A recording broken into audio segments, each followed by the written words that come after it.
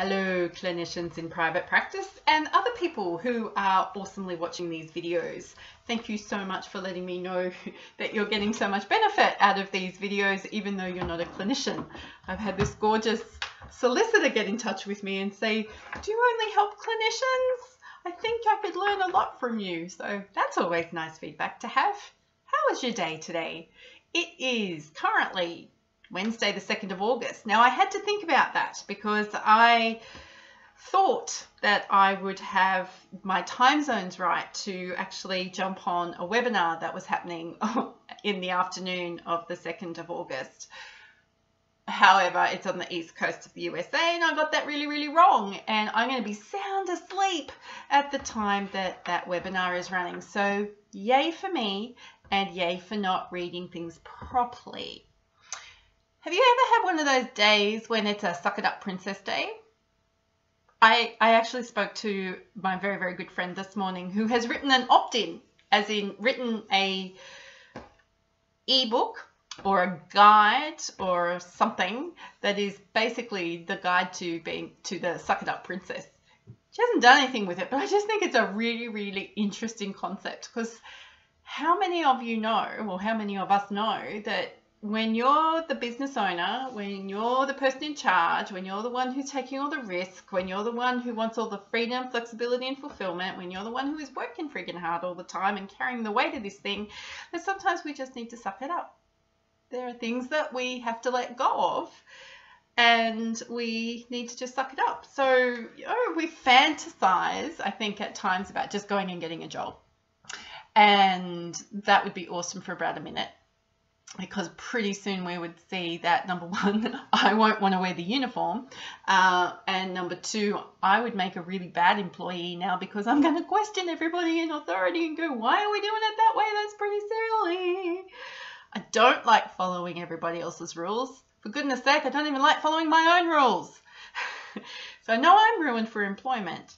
So I just need to suck stuff up sometimes. Sometimes everything, it's just not going to go my way and it's not going to go much, despite how much homework you do, despite how much research you do, despite how much advice you get, despite how many people tell you, yeah, that's an awesome idea, let's make that happen.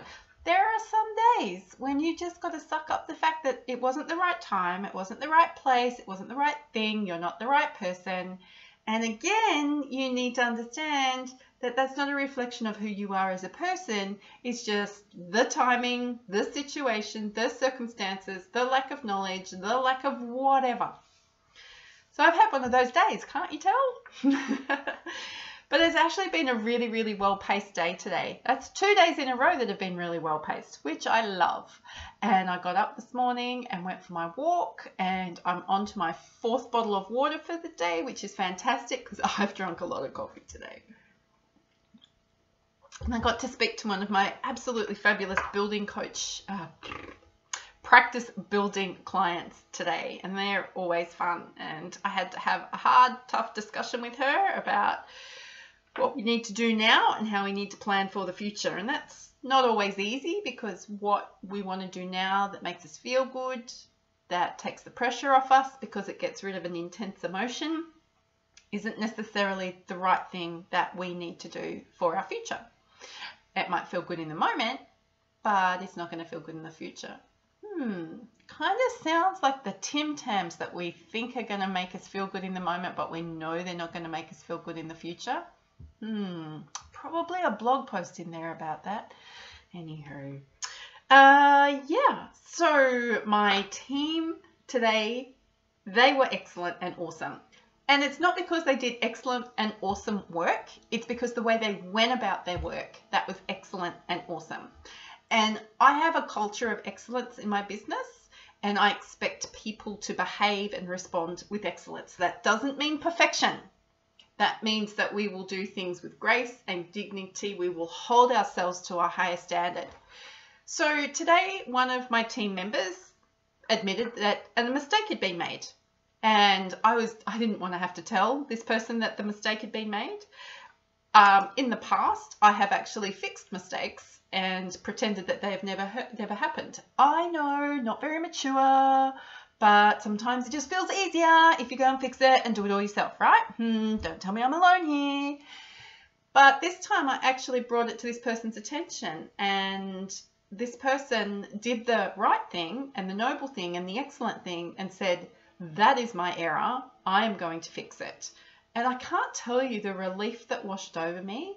I'm going, this is such a good fit for this business. Those because I take ownership when I make a mistake. I'm the first person to go, oops, made a mistake.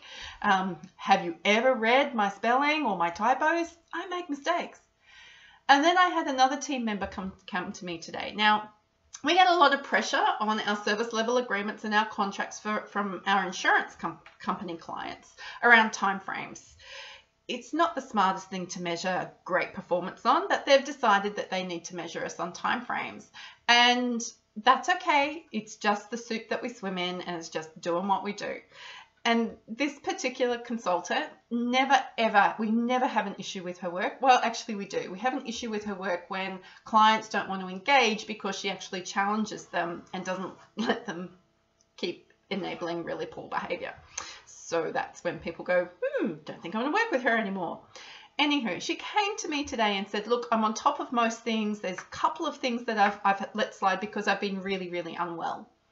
And I can't tell you how much that helps me as a manager of people, as a leader in my business, to actually know that I have my clients back, but they have my back around those details because most of us as clinicians got out of corporate world and agency work and hospital-based work because the admin and the little bits of tasks that felt meaningless and pointless and kept us away from doing the clinical work ate us up inside. And then we get into this thing called practice building and as your practice grows, and if you bring clinicians or multiple income streams into your business, there's more and more cogs of the wheel, and there's more and more components that need to be managed. And all of a sudden, you find yourself needing to decrease your clinical workload so that you can actually put time into the things that help you grow or maintain your growth. So, for me today, that was an amazing experience knowing that a mistake had been made and somebody's not going to hit timeframes but it helps me to go, my team is excellent and they are the right people to be working in this business at this time. I know I rave about my team a lot, but you know what? It took me a long time to build the culture of this place, and I am so proud of the people who partner with me inside of Purple Co. The other thing I've been working on this week is a document, information piece, ebook, white paper, position paper, a thing that explains our model or our understanding in Purple Co why we do what we do and how we do what we do is different and why that matters. So I'm really proud of this thing because I've been putting off completing it. I you know I think I started in February and it's now August um, because you know perfectionism and what's that other thing that we all love to do that's self sabotaging when we compare ourselves to everyone out there and we feel like we're never going to be good enough? That has been going on for me. Awesome. Don't like that. That really bugs me. All right, I don't know what just happened then, but some weird stuff came on my screen. So, tomorrow I get to go and meet with a brand new Purple Co client. And I'm looking forward to that because it's been a long time it's been a while now since I've actually seen a new client and have the opportunity to help someone engage with how we help people return to work, especially when they've been ill and they want to preserve some components of their career but need to learn to do it in a way that's healthy for them and sustainable. So I'm really looking forward to doing that. So this is private practice. I have no idea what the takeaways are from tonight because I feel like I've been rabbiting on, but I'm hungry so I'm not going to try and work it out and I'm going to go upstairs and raid the kitchen before my son gets home. So have a fabulous day, everybody. Looking forward to talking to you again very soon.